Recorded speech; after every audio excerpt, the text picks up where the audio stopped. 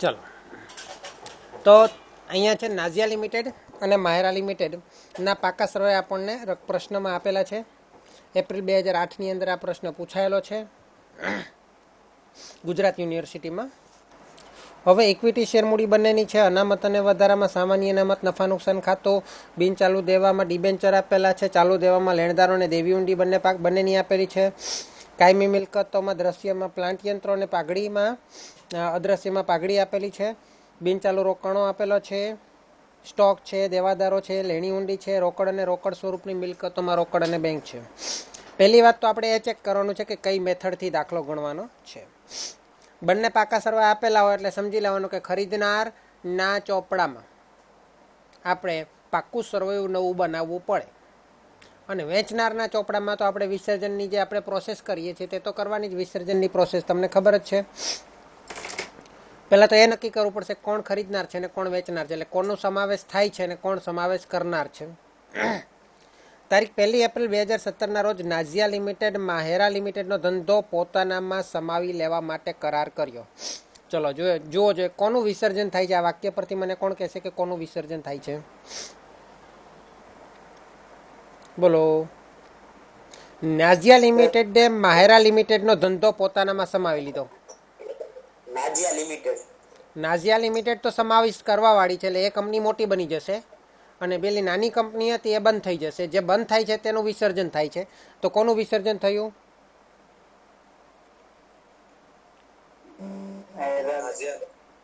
નાઝિયા લિમિટેડે માહેરા લિમિટેડને સમાવી લીધી. તો કઈ કંપની બંધ થઈ? માહેરા લિમિટેડ હા. માહેરા લિમિટેડ બંધ થઈ. ઓકે તો માહેરા લિમિટેડ બંધ થાય એટલે માહેરા લિમિટેડનું વિસર્જન કરવાનું છે. એટલે પહેલાં આપણે પહોંચી જવાનું જેનું વિસર્જન થાય છે હા એના એના ઓફિસમાં પહોંચી જવાનું ને એના એકાઉન્ટ લખવાનું ચાલુ કરવાનું. હા, કોની ઓફિસમાં પહોંચવાનું? માહેરા હા એટલે માહેરા લિમિટેડના ચોપડામાં આપણે લખવાનું. હવે વિસર્જનની પ્રોસેસ કરવાની. હે ને માહિરા લિમિટેડના ચોપડામાં વિસર્જન કરવાનું છે. હે ને, તો વિસર્જનની પ્રોસેસ શું છે? તો પહેલાં તો એમાં વિસર્જનમાં માલ મિલકત નિકાલ ખાતું તો બનાવવું જ પડે. બરાબર ને? માલ મિલકત નિકાલ ખાતું બનાવવું પડે અને આખી વિસર્જનની પ્રોસેસમાં પહેલી વાત તો એ કે બધી મિલકતોને દેવા બંધ કર, બધા ખાતા બંધ કરી દેવાના. હે ને, મિલકતોને દેવા બધા ખાતા બંધ કરી દઈએ, એટલે પાકા સરવૈયાની બધી બાકીઓ બંધ કરી દેવાની. ટૂંકમાં જોઈએ તો પહેલું શું આપેલું છે? ઇક્વિટી શેર મૂડી. માહેરા લિમિટેડની કેટલી છે? કેટલી છે માહેરા લિમિટેડની ઇક્વિટી શેર મૂડી? ચાર લાખ. ચાર લાખ એ ખાતું એ ખાતું આપણે બંધ કરીએ તો એ ઇક્વિટી શેર કોના પૈસા હતા? ઇક્વિટી શેર એટલે કોના પૈસા ગણાય? માલિકના ગણાય કે બાહ્ય દેવા ગણાય? માલિક. માલિકના. માલિકના ગણાય એટલે equity share equity share holder કહેવાય માલિક એટલે? મુખ્ય માલિક એટલે ઇક્વિટી શેર હોલ્ડર ગણાય. એના ખાતામાં જમા બાજુ લખી દેવાના. ઇક્વિટી શેર મૂડી ખાતે, એટલે ઇક્વિટી શેર મૂડીના જે હોય તે ચાર લાખ રૂપિયા, એટલે એ પૈસા એના ખાતે ચાલ્યા ગયા. પછી સામાન્ય અનામત છે, એ પણ એક પ્રકારનો નફો છે. એ પણ માલિકના જ પૈસા ગણાય, તો એ નફો પણ માલિકને આપી દેવાનો.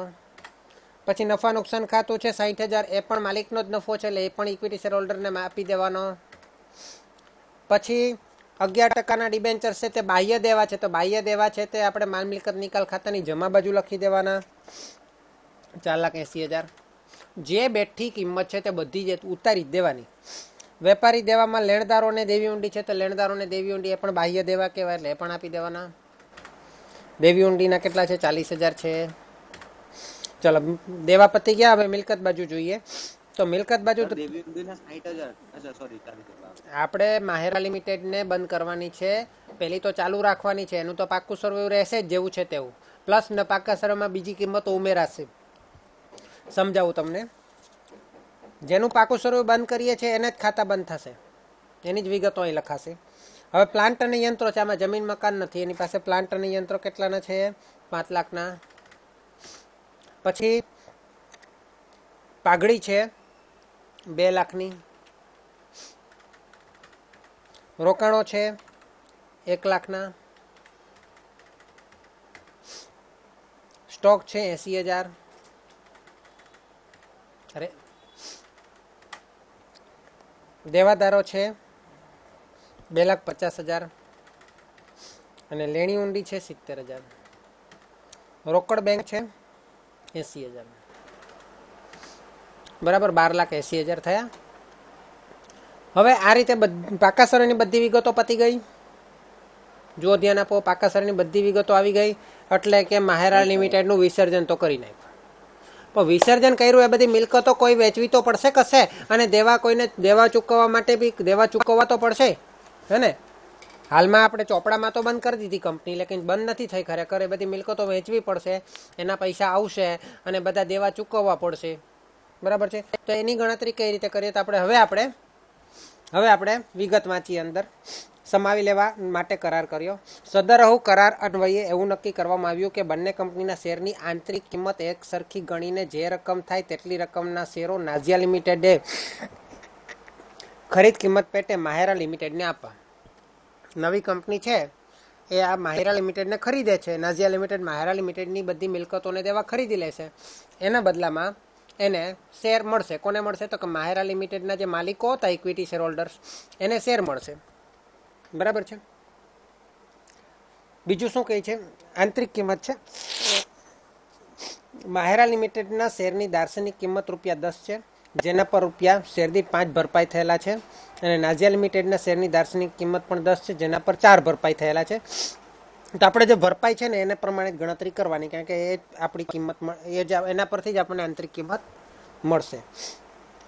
માહેરા લિમિટેડના સ્ટોકમાં પાંચ હજારનો માલ જે નાઝિયા લિમિટેડ પાસેથી ખરીદેલો હતો, તેનો સમાવેશ થાય છે. નાઝિયા લિમિટેડે વેચાણ કિંમત ઉપર વીસ ટકા નફો ચડાવીને આ માલ માહેરા લિમિટેડ પાસેથી ને વેચ્યો હતો. ઉપરની માહિતીને આધારે તૈયાર કરો. માહેર માહેરા લિમિટેડના ધંધાની ખરીદી માટેની ખરીદ કિંમત. નાઝિયા લિમિટેડના ચોપડામાં જરૂરી આમ નોંધો. અને માહેરા લિમિટેડના સમાવેશ પછીનું નાઝિયા લિમિટેડનું પાકું સરવાયું. કંઈ વાંધો નહીં, આપણે તો આનું વિસર્જન પણ કરી જ નાખીએ છીએ. એટલે આપણે આખો દાખલાની પ્રોસેસ શીખીએ છીએ. આપણને બધું પૂછ્યું નથી, પણ આપણે બધું બધું શીખી લઈએ. ચલો. તો પહેલાં આપણે શું નક્કી કરવું પડશે? શેરની આંતરિક કિંમત. શેરની આંતરિક કિંમત કઈ રીતે થાય? તો કે એની ચોખ્ખી મિલકત પરથી. તો ચોખ્ખી મિલકતમાં નાઝિયા અને જો બંનેની આંતરિક કિંમત શોધવી પડશે. નાઝિયા અને માહેરા કારણ કે આપણે બંનેને કમ્પેર કરવાના છે. શું કરવાના છે? કમ્પેર કરવાના છે. ઓકે કમ્પેર કરીએ તો પહેલાં બંને બંનેની આંતરિક કિંમત શોધીએ તો એને કમ્પેરિઝન કરી શકાય. તો પહેલાં તો યંત્રો આપેલા છે, તો યંત્રોની બંનેની કિંમત નવી કોઈ આપેલી હોય, પાકા હવાલાની અંદર કોઈ કિંમતમાં ફેરફાર કરવાનો કીધો હોય તો કરવાનો. નહીં કીધો હોય તો કંઈ નહીં. તો છ લાખ અને માયરાના પાંચ લાખ. પાઘડીના બે લાખ. અને એક લાખ.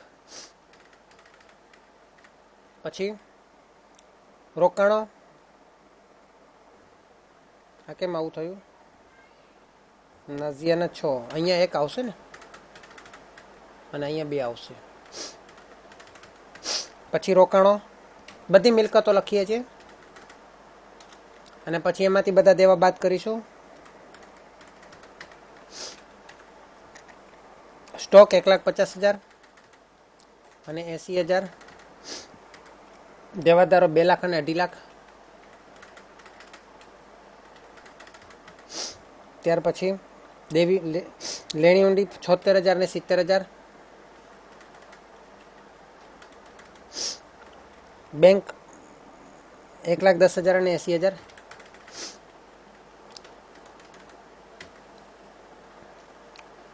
ડિબેન્ચર્સ ડિબેન્ચર્સની પણ નવી કિંમત હોય તો જોવાની. નહીં હોય તો પછી આમાં જે હોય તે જ લઈ લેવાની. ચાર લાખ અને ચાર લાખ એંસી હજાર. લેણદારો, એક લાખ અને બે લાખ. આ બધા દેવા આપણે લખીએ છીએ. અને સાઠ હજાર અને ચાલીસ હજાર. જો. તો તમે જોઈ શકો કે કુલ મિલકતો તેર લાખ સાઠ હજાર ને બાર લાખ એંસી હજાર છે નાઝિયા અને માયરાની અનુક્રમે. અને કુલ દેવા પણ પાંચ લાખ સાઠ હજાર અને સાત લાખ વીસ હજાર છે. બાદબાકી કરતા જે તફાવત મળે તેને આપણે ચોખ્ખી મિલકત કહીએ તે આઠ લાખ અને પાંચ લાખ સાઠ હજાર છે. હવે આપણે શેરની સંખ્યા વડે એને ભાગી દઈએ તો નાઝિયા લિમિટેડના શેરની સંખ્યા કેટલી છે જુઓ જોઈએ. પાકા સરવૈયામાં કંઈ નથી કીધું, પણ ત્રણ લાખ વીસ હજાર કીધેલા છે.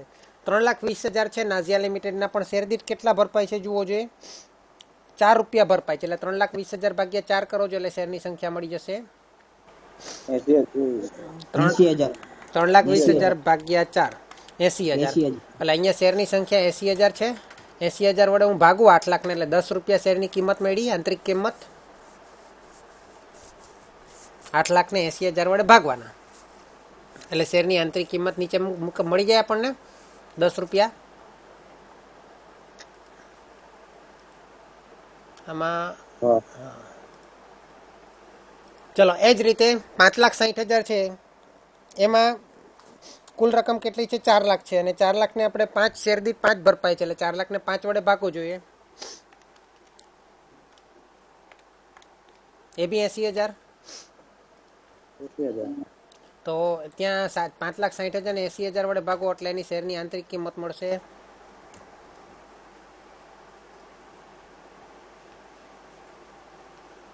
ક્લિયર થયું શેરની આંતરિક કિંમત? સાત આવે છે. હમ સાત આવી બરાબર. હવે આપણે અવેજ નક્કી કરવાનો કે એના બદલામાં કઈ રીતે મળશે. તો મોટા ઘણી વાર તમને પ્રશ્નમાં આપી દીધેલું હોય. અહીંયા તમને પ્રશ્નમાં નથી આપેલું સીધું સીધું નથી કીધેલું. આપણને શું કીધું છે? બંને કંપનીના શેર પેટે માહેરા લિમિટેડને અચ્છા સોરી બંને કંપનીના શેરની આંતરિક કિંમત એક સરખી ગણવાની. એટલે ભલે અહીંયા શેરની આંતરિક કિંમત કેટલી છે? સતા- અને દસ છે. પણ આપણે કેટલી ગણવાની છે? એક સરખી ગણવાની છે. બરાબર? પણ આપણે ખરીદ કિંમત કઈ ગણાશે? તો પહેલાં તો ખરીદ કિંમત કઈ ગણાય? કઈ બંધ થાય છે? માહેરા બંધ થાય છે? એટલે એ પા- પાંચ લાખ સાઠ હજાર છે આપણી ખરીદ કિંમત આવી જશે. બરાબર છે? પાંચ લાખ સાઠ હજાર આપણી ખરીદ કિંમત ગણાશે. એ પાંચ લાખ સાઠ હજાર ખરીદ કિંમત તો ગણાશે. બરાબર છે? એ પ્રમાણે આપણે ટોટલ પાંચ લાખ સાઠ હજાર થવો જોઈએ. ઇક્વિટી શેરના ટોટલમાં પાંચ લાખ સાઠ હજાર થશે. તો જ અહીંયા તમારા રોકડમાં ટોટલમાં પાંચ લાખ સાઠ હજાર થશે. એક મિનિટે,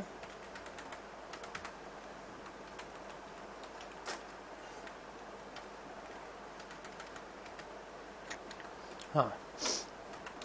અહીંયા ટોટલમાં પાંચ લાખ સાઠ હજાર થશે તો અહીંયા તમારો કુલ રકમ પાંચ લાખ સાઠ હજાર થશે. એ તો તમને પછી આઈડિયા આવશે. પણ ઇક્વિટી શેરની સંખ્યા કેટલી છે? માહેરા લિમિટેડની. તો એ આપણને ખબર છે એંસી હજાર છે.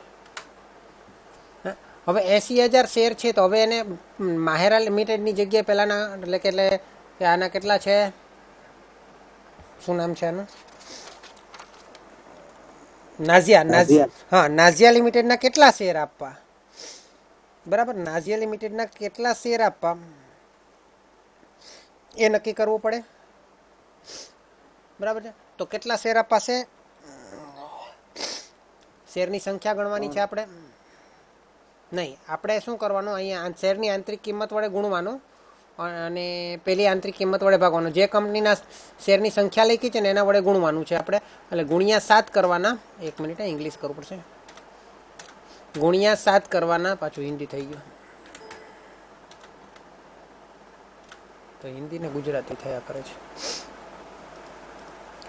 ઓકે, ગુણ્યા આજે આપણે માહિરા લિમિટેડના છે, તેના વડે આપણે ગુણાકાર કરવાનો અને નાઝિયા લિમિટેડનો છે એના વડે ભાગાકાર કરવાનો. એટલે એંસી હજાર ગુણ્યા કેટલા કરશું? સાત. ભાગ્યા દસ કરવાના. પહેલાંની શેરની આંતરિક કિંમત દસ છે ને? એટલે દસ કરવાના. એટલે છપ શેરની સંખ્યા કેટલી થઈ જશે? છપ્પન હજાર. બરાબર? હવે એ છપ્પન હજાર છે એને આપણે શેર આપવાના. શેરની કિંમત કેટલી ગણશું આપણે?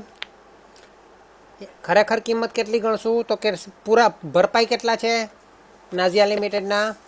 નાઝિયા લિમિટેડના જેટલા ભરપાઈ હોય ને એટલા ગણવાના. તો નાઝિયા લિમિટેડના કેટલા ભરપાઈ છે?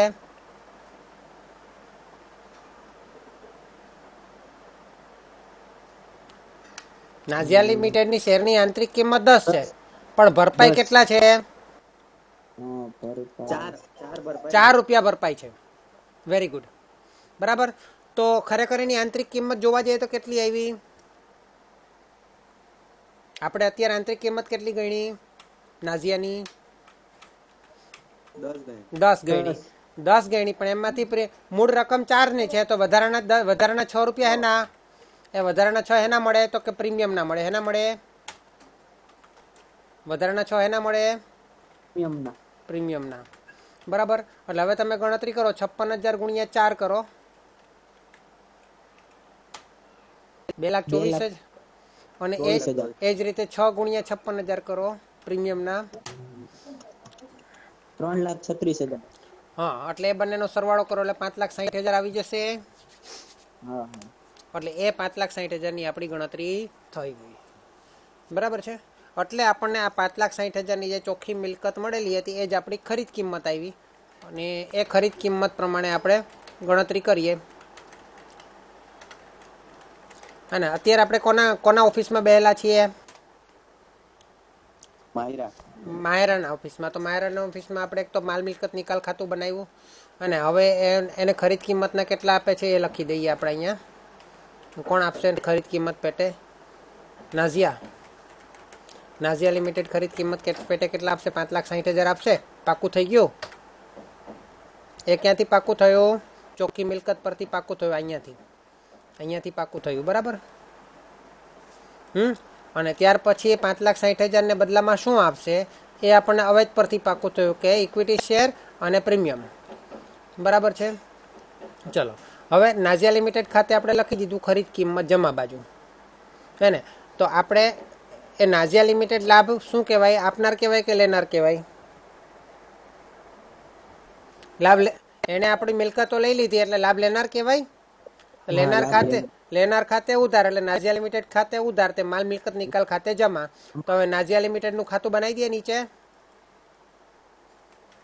આપણે હજુ બેહેલા છીએ. નાઝિયા લિમિટેડનું ખાતું બનાવ્યું આપણે. આપણે કોણ છીએ? માહેરા છીએ.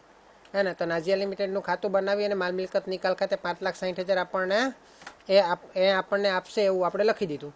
બરાબર છે? હવે કઈ રીતે આપશે હવે જ આપણે જમા બાજુ લખવાનો. પણ આની અંદર શું છે કે આની અંદર પ્રીમિયમ ને ઇક્વિટી શેર બધું આપણે સાથે જ લખી દેવાનું, પાંચ લાખ સાહીઠ હજાર. રોકડ હોય તો અલગ લખવી પડે. એ શું કહેવાય? નાઝિયા લિમિટેડના આપણા માટે તો નાઝિયા લિમિટેડના ઇક્વિટી શેર ગણાય ને? આપણ, આપણે કોણ હતા? ઇક્વિટી શેર હોલ્ડર હતા. એ ઇક્વિટી શેર હોલ્ડર છે. તો એ માહેરા લિમિટેડના ઇક્વિટી શેર હોલ્ડર હતા. એ તો આપણે એ તો આપણે ચૂકવી દીધા. એના બદલામાં આપણને નાઝિયા લિમિટેડના ઇક્વિટી શેર મળવાના છે પાંચ લાખ સાહીઠ હજારના. તો એની ક્રોસ એન્ટ્રી આપણે પાંચ લાખ સાઠ હજાર અહીં લખી. અહીંયા ખરેખર દાખલો સેમ જ લાગે છે, તેજ અને તિમિરનો રકમ બી સેમ છે. નાઝિયા લિમિટેડ ના ઇક્વિટી શેર ખાતે. જો, નાઝિયા લિમિટેડનું ખાતું અલગ આવે, નાઝિયા લિમિટેડના ઇક્વિટી શેરનું ખાતું અલગ આવે.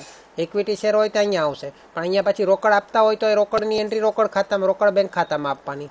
અહીંયા તો કંઈ બીજું રોકડ આપતા નથી, એટલે ખાલી ઇક્વિટી શેર ખાતામાં. અહીંયા હું લખું, નાઝિયા લિમિટેડના નાઝિયા લિમિટેડ ખાતે. એટલે પેલું નાઝિયા લિમિટેડના ખાતામાં બંને બાજુ સરવાળો સરખો થઈ ગયો, પાંચ લાખ સાઠ હજાર, એટલે ખાતું બંધ થઈ ગયું. હવે આ ખાતું બી બંધ થઈ જાય છે. બંને બાજુ સરવાળો સરખો કરી અને આ પાંચ લાખ સાઠ હજાર અહીંયા કંઈ હતા નહીં. બરાબર? અને અહીં આપણે લખી દીધા પાંચ લાખ સાઠ હજાર. બરાબર? અને ત્યાં લખી દીધું આ આ ઇક્વિટી શેર કોને આપવાના? નાઝિયા લિમિટેડના ઇક્વિટી શેર તો કે માહેરા લિમિટેડના શેર હોલ્ડર હતા ને, એને આપવાના. એટલે ક્રોસ એન્ટ્રી આપણે માહેરા લિમિટેડના ઇક્વિટી શેર હોલ્ડર ખાતે કરીએ. બરાબર છે. અહીંયા માહેરા લખી દઉં. અરે, નાઝિયા લખી દઉં સોરી નાઝિયા લિમિટેડના ઇક્વિટી શેર ખાતે પાંચ લાખ સાઠ હજારના ઇક્વિટી શેર મળ્યા. ભાઈને કોને મળ્યા? આ બધા શેર હોલ્ડર્સને મળ્યા. જૂની કંપનીના માલિકોને મળ્યા. ચલો, હવે માલ મિલકત નિકાલ ખાતું બંધ થશે. માલ મિલકત નિકાલ ખાતું બંધ થાય તો જમા બાજુનો સરવાળો બાર લાખ એંસી હજાર આવે છે.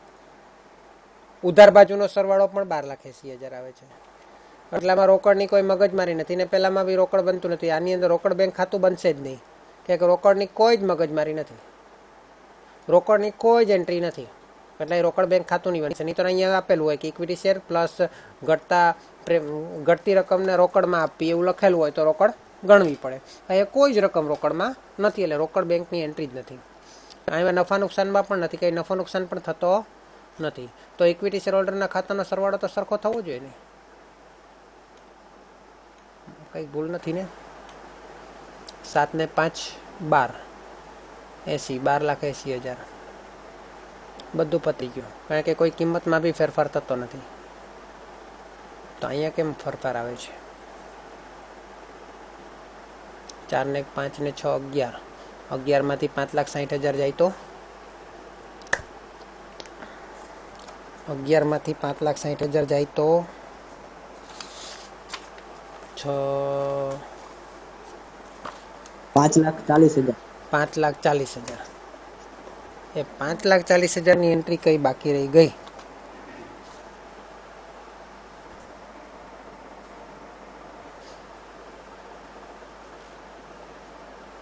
કંઈક પાંચ લાખ ચાલીસ હજારની એન્ટ્રી રોકડ બેંકમાં હોવી જોઈએ.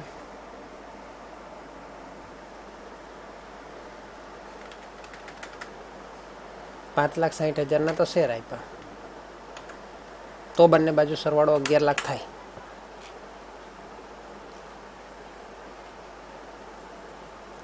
લખેલું છે કઈ? આપણે જોઈ લઈએ જરા.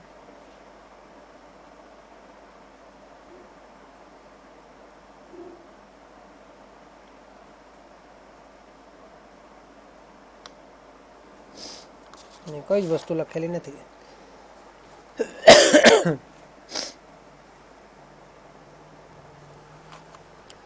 કુલ મિલકત તો તેર લાખ સાહીઠ હજાર આઠ લાખ પાંચ લાખ સાહીઠ હજાર.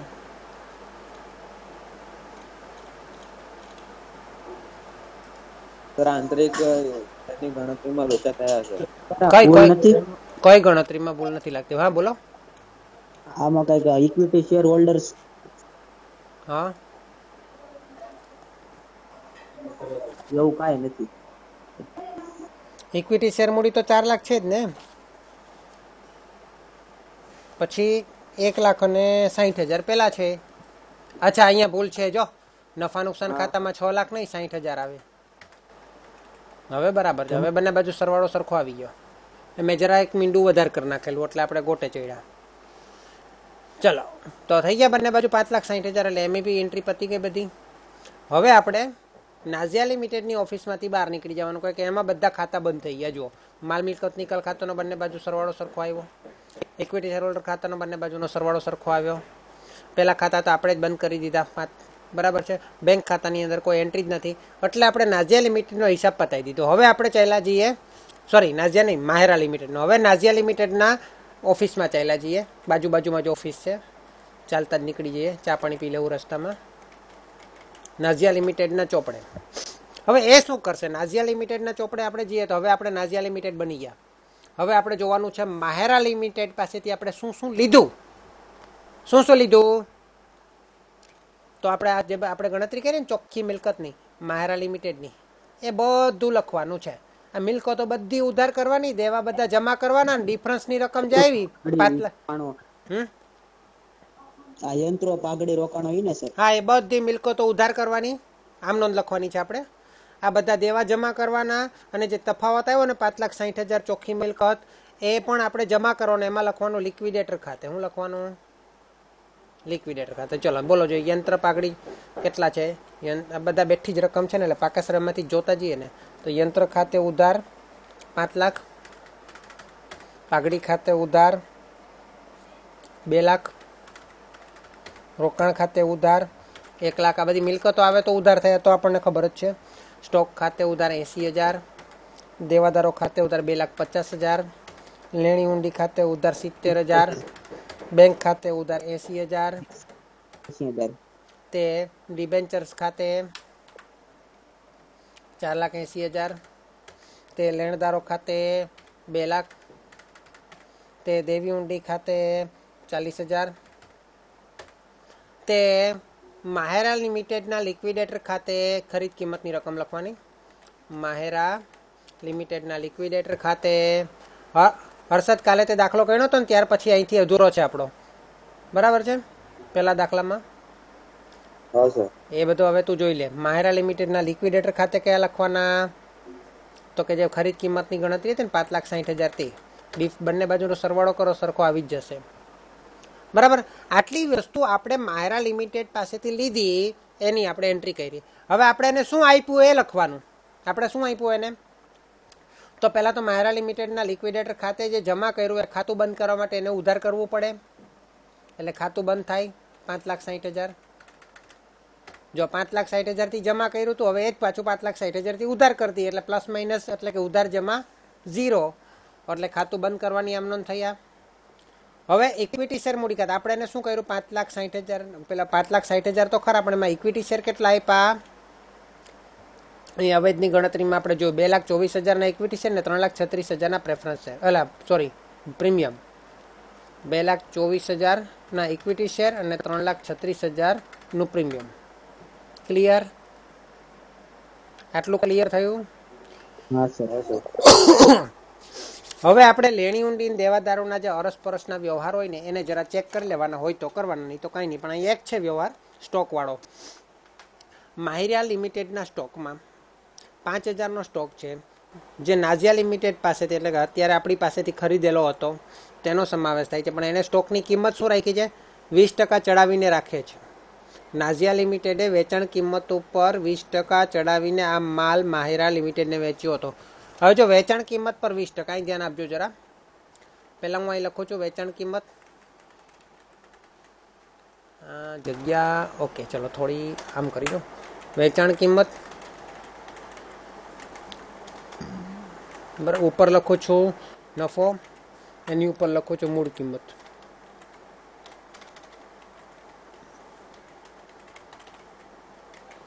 બરાબર છે. વેચાણ કિંમત પર વીસ ટકા નફો કીધો છે એટલે સો ક્યાં લખવાના મારે?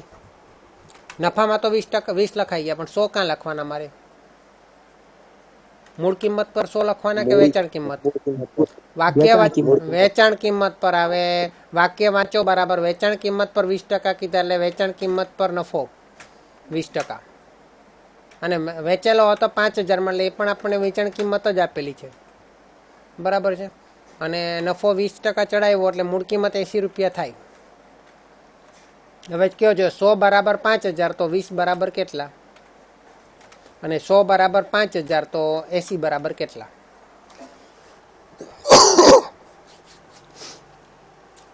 સો એ પાંચ હજાર તો એસી એ કેટલા? ચાર હજાર વેરી ગુડ ચાર હજાર. અને આ એક હજાર. હે ને? એનો અર્થ એમ કે એક હજારનો નફો ચડાવેલો હતો. હવે હું એમ કહું કે મેં કોઈને પાંચ હજારનો માલ વેચ્યો બરાબર છે? જેમાં વેચાણ કિંમત પર વીસ ટકા નફો ચડાવીને પાંચ હજારનો માલ વેચ્યો. એ માલ મારી પાસે પાછો આવે તો મારે કઈ કિંમત લખવી જોઈએ પાંચ હજાર કે ચાર હજાર? મારી પાસે તો ચાર હજારનો જ માલ હતો ને મારા માટે. મારા માટે એ માલની કિંમત કેટલી હતી? ચાર હજાર હતી.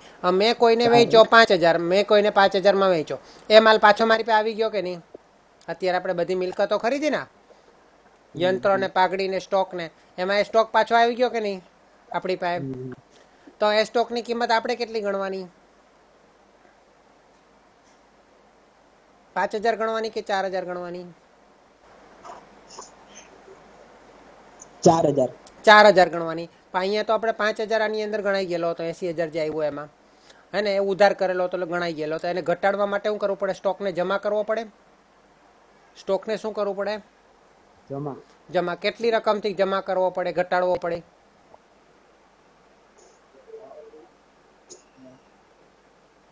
પાંચ હજાર ને ચાર હજાર કરવા માટે કેટલી રકમથી ઘટાડવો પડે? એક હજારથી ઘટાડવો પડે સ્ટોકની રકમની? હજાર. તો ઉધાર બાજુ ઉધાર બાજુ આપણે પાઘડી ખાતે લખવું પડે. શું કરવું પડે? પાઘડી ખાતે. આ યાદ રાખવું પડે. બસ આની અંદર લેણદારને દેવી ઊંડીના કોઈ પોઈન્ટ નથી એટલે હું ડિલીટ મારી દઉં છું અહીંથી. ચલો હવે આપણે પાક્કું સરવૈયું બનાવવાનું છે નવું. નવું એટલે કે નાઝિયા લિમિટેડનું. બહુ સિમ્પલ જ છે. જૂનું છે એમાં પ્લસ કરતું જવાનું નવું. તો નાઝિયા લિમિટેડ જુઓ જોઈએ નાઝિયા લિમિટેડમાં પહેલાં ઇક્વિટી શેર મૂડી છે. કેટલી છે? જૂની? સર પાકા સરવૈયામાં હા પાકા સરવૈયામાં. લાખ વીસ હજાર. ત્રણ લાખ વીસ હજાર. નહીં આમનોંધમાં જુઓ જોઈએ આમનોંધમાં કે ઇક્વિટી શેર મૂડી આવી હારે બે લાખ ચોવીસ હજાર. એ પ્લસ કરો જોઈએ ત્રણ લાખ વીસ હજાર પ્લસ બે લાખ ચોવીસ હજાર. કેટલા થયા? બે લાખ છપ્પન હજાર. ના ના. પેલા ત્રણ લાખ વીસ હજાર છે ને? પેલા ત્રણ લાખ વીસ હજાર છે પ્લસ બે લાખ ચોવીસ હજાર.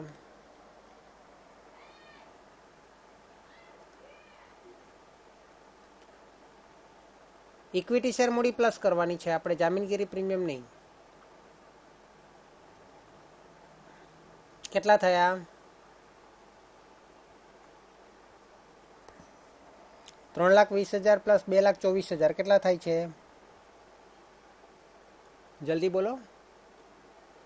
પાંચ લાખ મળશે હા પાંચ લાખ ચુમ્માલીસ હજાર. આ બધું ભરપાઈ ને બધું કાઢી નાખવાનું છે. પાંચ લાખ ચુમ્માલીસ હજાર. બરાબર? અરે આમાં કા લખો છો? ઓકે સમજ પડી આટલામાં? ચલો ઇક્વિટી શેર મૂડી પછી આપ્યું છે અનામત અને વધારો. કેટલો હતો પહેલા? ત્રણ લાખ. અને નવો કેટલો આવ્યો જુઓ જે અનામત અને વધારો નવો આવે જ નહીં એ તો પહેલાના ખાતામાં ચાલ્યો જાય. એટલે જે હોય તે લખી દેવાનો બેઠો ત્રણ લાખ. ત્રણ લાખ. પછી સામાન્ય અનામત ખાતું? અરે અનામત અને વધારામાં સામાન્ય અનામત ખાતું ત્રણ લાખ. આપણે પેલી જગ્યા આમ કરી દીધી ને એટલે. હમ હવે જુઓ. જામીનગીરી પ્રીમિયમ નફા નુકસાન ખાતું બાકી ને જો સાઠ હજાર. અરે એક લાખ એસી હજાર. હવે જામીનગીરી પ્રીમિયમ આવ્યું નવું એ જૂનામાં નહીં હતું પણ નવામાં આવ્યું. ક્યાં આવ્યું? તો કે આ રહ્યા જો ઇક્વિટી શેર આવ્યા? અહીંયા અહીં હું માહેરા લખી દઉં ને. ઓકે ઇક્વિટી શેર આવ્યા ત્યારે પ્રીમિયમ આવ્યું જામીનગીરી પ્રીમિયમ ત્રણ લાખ છત્રીસ હજાર. એ લખવું પડે. બોલો સમજ પડી આટલામાં? ત્રણ લાખ એક લાખ એસી હજાર ને ત્રણ લાખ છત્રીસ હજાર. એ પહેલા જૂનામાં નહીં હતા નવામાં આવ્યું એટલે લખવું પડે. પછી ડિબેન્ચર્સ જુઓ છે જૂનામાં બી હતા ને નવામાં બી છે. કેટલા છે? જૂનામાં કેટલા હતા? ચાર લાખ. અને નવામાં કેટલા એવા આમનોનમાં જુઓ. ચાર લાખ એસી હજાર. ચાર લાખ એસી હજાર. એ નવામાં આમનોંધમાં જ જોવાનું હોય ભલે જૂનામાં સરખું હોય તો બી. એટલે કેટલા થશે? આઠ લાખ એસી હજાર થશે? પછી જૂના લેણદારો કેટલા હતા? એક લાખ. અને નવામાં લેણદારો કેટલા એવા? બે લાખ. ટોટલ કેટલા થયા? ત્રણ લાખ. ચલો. ત્યારે જૂની દેવી ઊંડી સાઠ હજારની હતી. નવી કેટલી આમનોંધમાં જુઓ?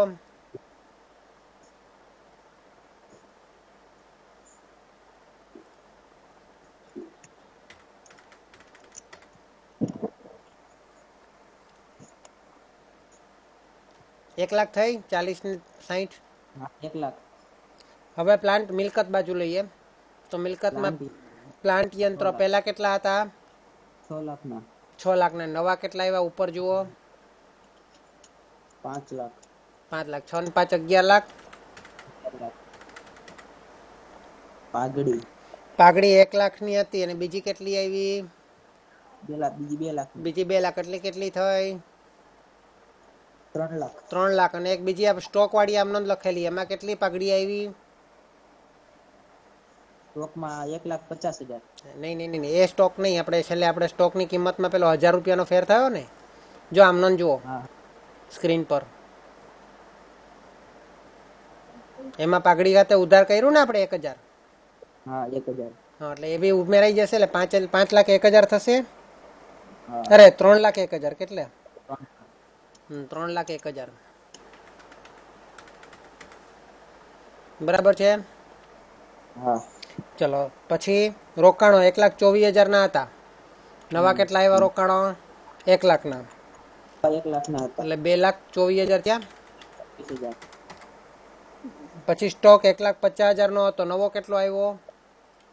એસી હજાર નો. એસી હજાર એટલે એક લાખ પચાસ હજાર પ્લસ એસી હજાર કરો. બે લાખ ત્રીસ હજાર. બે લાખ ત્રીસ હજારમાંથી સ્ટોક ખાતે જમા આપણે કર્યો એટલે સ્ટોકની કિંમતમાં ઘટાડો કર્યો હજાર રૂપિયાનો. માઇનસ કરો. બે લાખ ઓગણત્રીસ હજાર. બે લાખ ઓગણત્રીસ હજાર. અરે પેલો સ્ટોક પેલું કાં ગયું